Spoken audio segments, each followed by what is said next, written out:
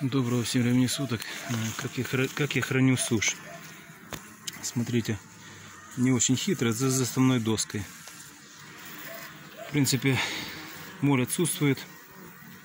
Самое основное условие, чтобы не было моли, это сильная семья должна быть.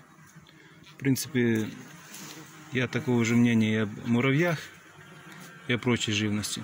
Сильная семья, она не допустит моль улей, она не допустит муравья в улей. А обычно это проблема все-таки слабых семей. А Когда похолодает, я могу эту сушь убрать э, в сторону, да, там в пустой улей.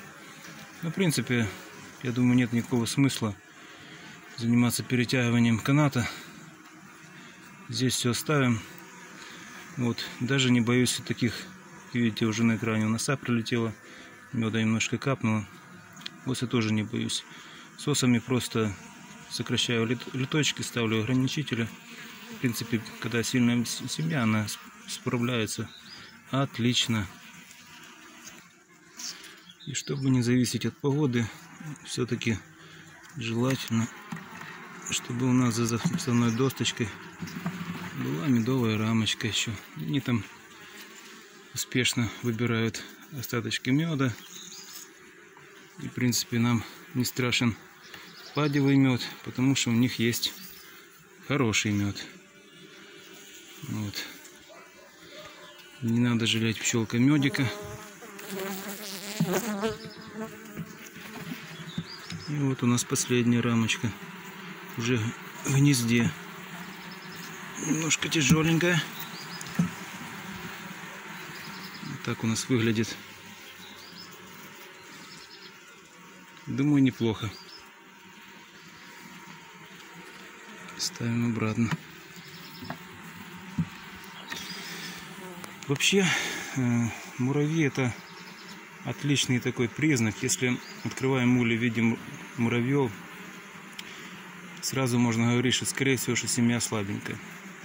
То же самое по моле. Часто именно в слабых семьях все это можно увидеть. Но по этому году когда кукурузу сеяли, потравили пчелу, был падеж у меня на пасеке. Слава богу, живые все остались. Но я что-то думаю, та пчелка, что посыпалась, муравей ее съел и сам ушел мир иной. Вот такая вот история. Поэтому у пасечника в этом году был еще один вредитель.